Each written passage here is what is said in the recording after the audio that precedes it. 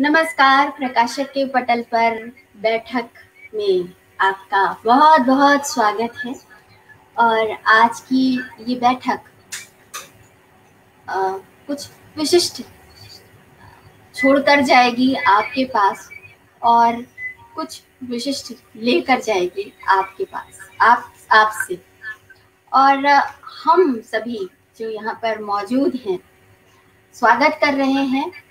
आज बैठक में उनका, जिनकी कहानी हम पढ़ने वाले हैं, हमारे साथ मौजूद हैं सुप्रसिद्ध लेखिका अलका सिन्हा जी। अलका सिन्हा जी बहुत सुंदर कहानियाँ गढ़ती हैं, बहुत सुंदर कहानियाँ रचती हैं और जितनी सुंदर लेखनी है उनकी, उतना ही सुंदर उनका मन है। उतना ही सुंदर उनका व्यवहार है और उतनी ही उतना ही सुंदर उनका आ, बोलना है। उनकी बातचीत के साथ आ, कुछ इस तरह से मन जुड़ा कि आ, मुझे लगा कि कुछ कहानियाँ पढ़नी चाहिए। उनकी जितनी भी कहानियाँ पढ़ी सभी बहुत पसंद आई। बहुत ज़्यादा दिल को छूने वाली कहानी एक असर छोड़ जाने वाली कहानी। लेकिन आ, हमने वो कहानी छाटी है, जिसमें हम आपको पढ़कर सुना पाए, जिसमें ज़्यादा से ज़्यादा संवाद हो, ये कोशिश की। तो इसीलिए हमने एक कहानी छाटी, गुड्डो का स्कूल। और आज इस कहानी का हम हम पढ़ेंगे मैं और पूनम अहमद जी, जानी मानी लेखिका पूनम अहमद जी हमारे साथ हैं। आज गुड्डो पहले दिन स्कूल जा रही थी। मैं कुछ नर्वस महसूस कर रही थी।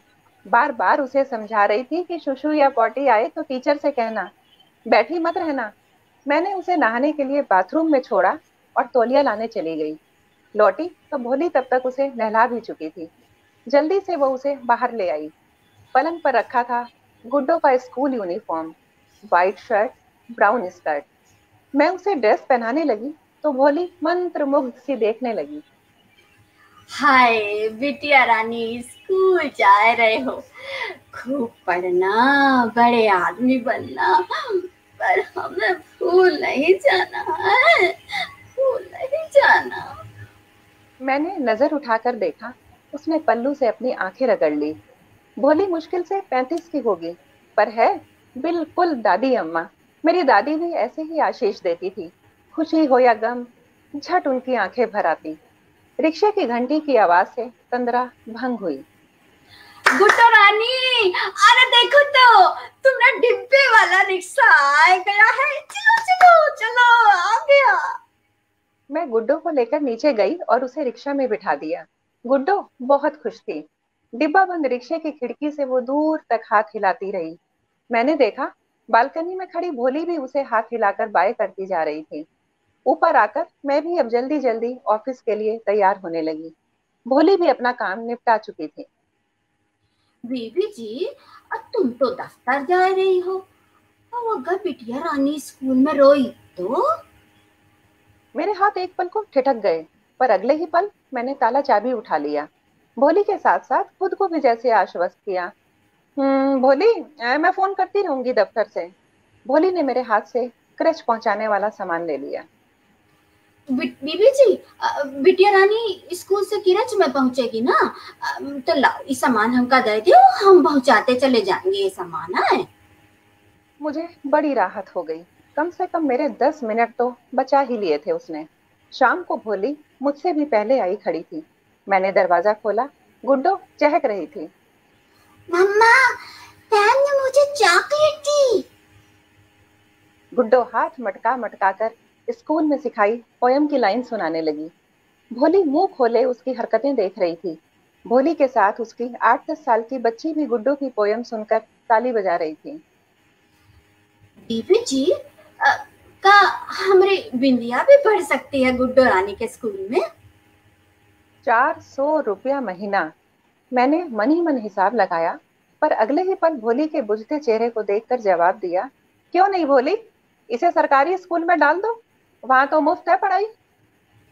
मुफ़्त नहीं बीबी जी हम पैसे देंगे बिंदिया भी जाएगी गुड्डो रानी के स्कूल में हाँ। भोली चहक कर कहने लगी तो मैं हंस पड़ी। क्यों? क्या सरकारी स्कूल में पढ़ाई नहीं होती? हाँ होती तो तुमने कहे नहीं डाला गुड्डो रानी को सरकारी स्कूल में। भोली ने कह तो दिया मगर कहते ही भाप लिया कि वो अपनी औकात से अधिक बोल गई है। मैं गुस्से से भर उठी। मैंने ही मुँह लगा रखा है इसे। मन ही मन तय किया इससे अब फालतू बात नहीं करूँगी। भोली झेपती सी बिंदिया से कह रही थी। अरे हम तो भूल गए। हमका तो आटा गूंदना है। चल रे बिंदिया पानी तो ला दे हम आटा गूंध ले। तीन साल से ऊपर हो गए हैं भोली को मेरे घर काम करते हुए। तब गुड्डो पैदा ही हुई थी जब इसने मेरे घर का सारा काम संभाला था। खाना बनाना कपड़े धोना और तो और गुड्डो को नहलाना तेल लगाना भी। और गुड्डो का काम तो इसने अपने आप ही ले लिया था। एक दिन मैं गुड्डो को गोद में लेकर तेल लगा रही थी कि भोली बोल पड़ी। हाँ ऐसे कहीं तेल लगता है बीबी जी ला हम का दो ला।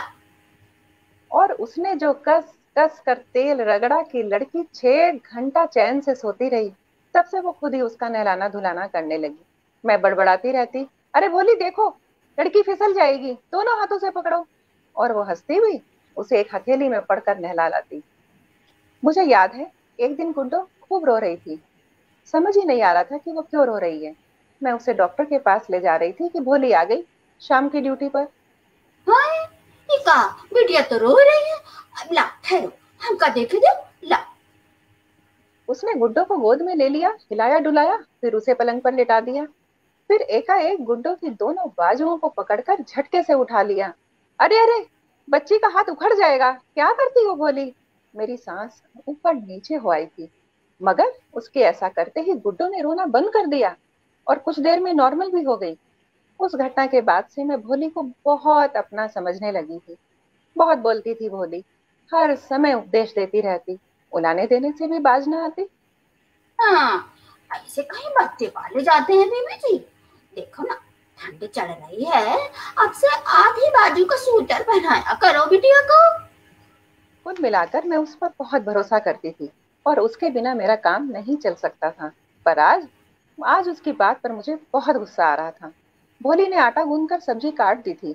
जाने से पहले फिर मेरे नज़दीक आकर खड़ी हो गई। मैंने मुँह उठाकर देखा तो कुछ झिझकती सी बोल पड़ी। बेबी जी हम कह रहे थे हमारी पगार में से सौ रुपया जो तुम अपने पास रख लिया करना है, और हम बखत पे ले लिया करेंगे। ठीक है? मन मन तो मेरा खिन्न था ही।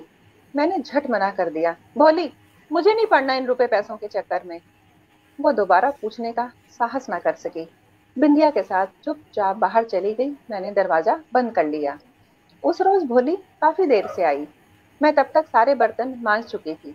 उसने मेरे हाथ से बाकी का काम झटक लिया और बिना बोले गैस साफ़ करने लगी। मैं जानती थी, आज फिर अपने आदमी से लड़कर आई होगी। उसके रोज रोज के झगड़े से मेरा काम खाम खा हर्ज हो जाता है। भोली, ऐसे कैसे चलेगा? आज मेरा ऑफ़िस फिर लेट करा दिया तुमने।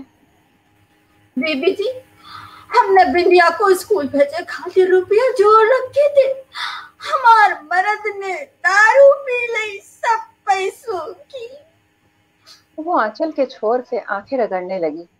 मेरा चढ़ा पारा एकदम से नीचे उतर आया। मुझसे कुछ कहते ना बना। मैं जानती थी कि भोली बिंदिया को पढ़ाने के लिए कितनी उत्सुक थी। मेरी चुप्पी भोली को और भी तोड़ गई। वो बिफर पड़ी।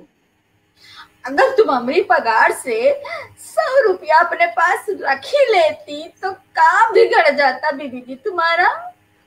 अरे क्या कह रही हो भोली? कोई एक बार की बात है? हर महीने चार सौ रुपए जोड़ लोगी तुम? अपने पाँव चादर मुताबिक फैलाने चाहिए। ज़रूरी है गुड्डो के स्कूल में पढ़ाना।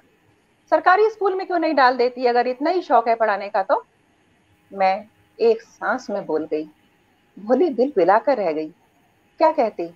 अपना घर तो चला नहीं पाती। बेटी को पढ़ाएगी अंग्रेज़ी स्कूल में? मैंने ताला चाबी उठाते हुए कहा, भोली, शाम को कर लेना कपड़े। देर हो रही है मुझे। ऑफ़िस में मन थोड़ा बेचैन रहा। बार बार भोली का चेहरा घूमता रहा। इसने कितना अपना होकर बांटा है मेरा दुख दर्द। और मैंने एक झटके में इसके सपने उजाड़ दिए। मुझे याद है कई बार जब मैं गुड्डो के रोने से परेशान हो जाती तब वही तो संभालती थी इसे। बीबी जी हमका लगा था बिटिया का पेट दुखत है। ला सरसों की पोटली बना के हम सेक देते हैं। कई बार आँखें मटकाती रामबाण औषधि बताती। तू बूंद छाती का दूध, बिटिया की नाभि पे टपका दो और देखियो बुखार तुरंत उतर जाएगा। और सचमुच, ऐसा ही होता। मैंने उसका सारा एहसान पल भर में उतार दिया था। मेरा मन ग्लानी से भर उठा।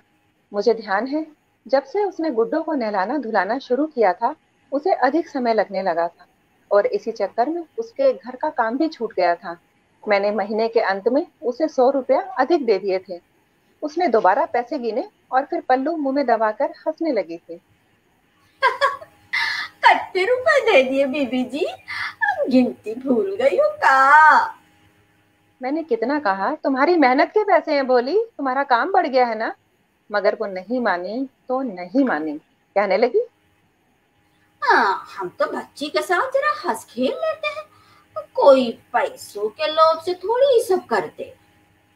मेरा मन खुद को धिकार रहा था। आज मैंने ठीक नहीं किया। मुझे इतना नहीं कहना चाहिए था। शाम को भोली आई, शांत, निर्विकार से, चुपचाप कपड़े धोती रही। मैं गुड्डो को होमवर्क करा रही थी। वो कपड़ों की बाल्टी लिए बालकनी में जाने लगी तो एक पल ठिठक कर रुकी फिर चली गई। मैंने देखा वो आंचल के छोर से अपनी आँखें पोछ रही थी। मन में आया कि मैं ही भर दूँ इसकी बेटी की फ़ीस। पर मैं ही कौन सी सेठ साहूकार थी? मैं अन्य मनस्क हो आई थी। गुड्डो को पढ़ाने में मन नहीं लग रहा था। भोली कपड़े डालकर लौटी। तो समझौते की आवाज़ में पूछ बैठी। अच्छा बेबी दी तो फिर बिंदिया को सरकारी में रख लेंगे ना? मेरे चेहरे पर आशा की किरण दौड़ गई। हाँ हाँ रखेंगे क्यों नहीं भोली? तुम ले आना उसे। मैं साथ चलूँगी। हम उसका स्कूल में नाम लिखवा कर आएँगे। हम दोनों ने तय किया कि सोमवार को सुबह भोली बिंदिया को लेकर मेरे घर आ जाएगी। फिर हम साथ जाकर नज़दीक के स्कूल में उसका नाम लिखाएँगे शुक्र, शनि, इतवार और फिर सोमवार। मैं बेसब्री से इंतज़ार करने लगी। मैंने ऑफ़िस में पहले ही कह दिया था कि सोमवार को मुझे आने में देर हो जाएगी। मैं खुश थी कि अब बिंदिया भी पढ़ सकेगी। आज सोमवार था। मैं जल्दी से उठी। आज विशेष उत्साह था मुझमें मगर भोली रोज की तरह अपने समय पर आई और बिंदिया को साथ नहीं लाई। मैंने हैरानी से पूछा तो उसे ध्यान आया। हाँ हाँ आज तो है सोमवार। अरे छोड़ो बीबी जी हम अहिरिन सबका बच्चा का पढ़ेगा। अब पढ़े के कौन सा कलेक्टर बन जाएगा छोड़ो। कहते हुए वो किचन में घुस गई। देखो भोली बर्तन वर्तन शाम को कर लेना। जाओ अभी तुम जाओ बिंदिया को लेकर आओ। मैंने अपनी झल्लाहट दबाते हुए अनुरोध किया। मगर भोली ने अपने मशीनी अंदाज में बर्तन मांजने शुरू कर दिए। साथ साथ मुझे ही समझाने लगी। बीबी जी कितना पढ़ लेगी बिंदिया है? और फिर पढ़ने में से ही कौन सी नौकरी लग जाती है? देखे नहीं चौतीस नंबर वाले भैया जी को कितना पढ़े लिखे हैं कब से भटक रहे हैं हाँ नहीं। मैं खींच कर अपने कमरे में आ गई। बेकार है इन चक्रों में पढ़ना। इनको कितना ही समझा लो, ये आगे बढ़ने वाले नहीं। शाम को गुड्डो हाथ नचा नचा कर बता रही थी कि मैम ने उसे डांस में रखा है। भोली और बिंदिया भी उसका डांस देखने लगे। मैंने भोली को फिर समझाना चाहा कि वो चाहे तो हम कल चलते हैं। बिंदिया का नाम भी स्कूल में लिखा देंगे। लेकिन भोली को ना मालूम क्या हो गया था। नहीं मानी तो नहीं मानी। छोड़ो, पढ़ाई लिखाई बीबी जी एक बदले ना विद्या को एक आध घर का काम दिला दो। कम से कम अपना खर्चा तो चला लेगी ना। क्या बोली? बिंदिया से काम कराओगी? इतनी छोटी सी बच्ची से? हाँ बात करती हो बीबी जी छोटी कहाँ है? अरे दो चार साल में तो हम उसे ब्याह देंगे। बीबी जी देखो ना किसी घर में थोड़ा काम वाम दिला सको तो जरा बिंदिया के लिए देख लियो। मैंने खींच कर हाथ जोड़ दिए। इसे समझाना बेकार था। घर फैला पड़ा था मैं सामान व्यवस्थित करने लगी तो गुड्डो ठुनकने लगी। अम्मा पहले मेरा होमवर्क करा दो नहीं तो मैम गुस्सा करेगी। मैं अचानक ही भोली को आवाज़ लगा बैठी। भोली बिंदिया को मेरे ही घर ले आया करो। घर संभालने में मेरी मदद कर दिया करेगी। मैं ही दे दिया करूँगी इस काम के सौ रुपए। अगले रोज से भोली बिंदिया को नियम से लाने लगी। मेरे सामने ही तो बड़ी हुई थी ये बच्ची भी। मेरी गुड्डो से थोड़ी ही तो बड़ी थी जब गुड्डो पैदा हुई थी। उससे काम कराते ना बनता, मैं कह देती, जाओ, गुड्डो को संभालो। और वो फूल से खिलकर गुड्डो के पास जा बैठती। अब मुझे अपने और घर के लिए कुछ अतिरिक्त समय मिल जाता था। एक दिन मैं अपने काम में लगी थी कि मुझे दूसरे कमरे से ऊँचे स्वर में गुड्डो के डांटने की आवाज़ सुनाई पड़ी। मैंने जल्दी से दूसरे कमरे में झाँक कर देखा तो हँसी आ गई। बिंदिया गुड्डो की छोटी सी कुर्सी पर कान पकड़कर खड़ी थी और गुड्डो मेरी चुन्नी को साड़ी की तरह लपेट कर टीचर बनी उसे कॉपी दिखाकर डांट रही थी। जब आप ए बी सी लिख सकते हो तो क्यों नहीं लिख सकते हा?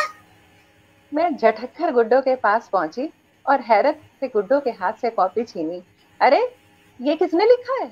मुझे अचानक आया देखकर गुड्डो सकपका गई। पर फिर चौड़ी होकर बोली इससे ने लिखा है मम्मा बिंदिया ने। पर देखो ना की नहीं लिखती है। मैंने चहकते हुए भोली को आवाज़ दी देख भोली तेरी बेटी लिखना सीख गई है। मैंने कॉपी भोली की ओर बढ़ा दी भोली ने कॉपी ले ली और कलेजे से लगा ली। अरे देख तो भोली अंग्रेज़ी लिखी है इसने। दीदी जी हम ना कहते थे हमारी दुनिया भी पढ़ेगी गुड्डो रानी के स्कूल में।